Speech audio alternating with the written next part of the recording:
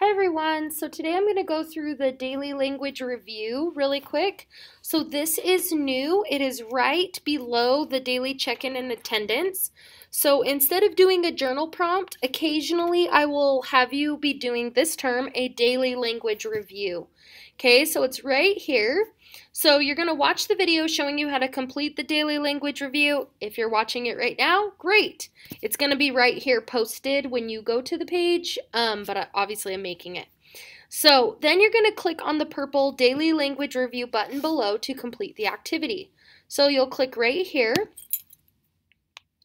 and it will reload to a Google form that looks like this. Okay, so it'll give you the date, Wednesday, November 11th, um, and then you'll just fill this out. So type your first and last name. And then you'll go through and you'll answer these questions. There will only be five since it's a daily language review, okay? Um, so some of them say correct the following sentence by typing your answer below. This is the sentence for you here.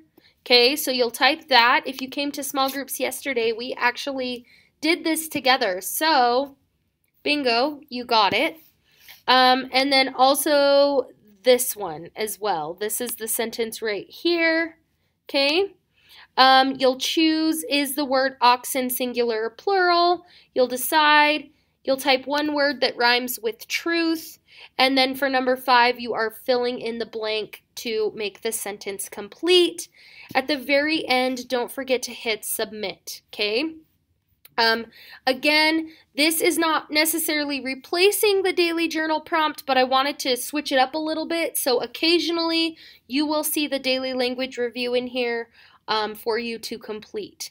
If you have any questions or need some help with anything, please don't hesitate to reach out to me. Have a great day, and I'll see you in the next video.